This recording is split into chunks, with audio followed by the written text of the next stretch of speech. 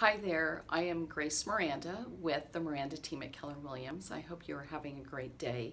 I want to take a little couple of minutes to just talk to you about what the rising interest rates are doing to the market, which is interesting. But first, more importantly, I have to share with you this. See this beautiful baby? This is Maverick our Lucas Miranda, my son, and his beautiful wife Amber had a baby boy a little while ago. So we have added yet another baby to our family, not only our personal family, but our extended real estate family. So we're super excited about that. As you probably have heard in the news media, interest rates are rising and are going to continue to rise. If anybody can predict the future, who knows? Anyways, what I get asked all the time is what the impact of that is on our market. And right now we are in our spring real estate market, which is always the best market to sell a home. What we're seeing is that buyers know that rates are going to keep going up, and so it's given them greater urgency to buy.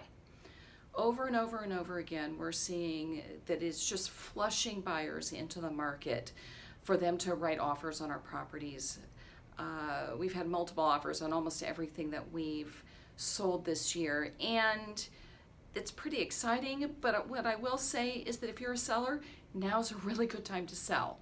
We are suffering a little bit from low inventory, and what will happen is as rates continue to increase, prices are going to probably come down because buyers just won't be able to afford the homes because of the interest rate hike. Anyway, so I just wanted to give you a quick update on that. If that's something you want to talk to us about, we would love to talk to you.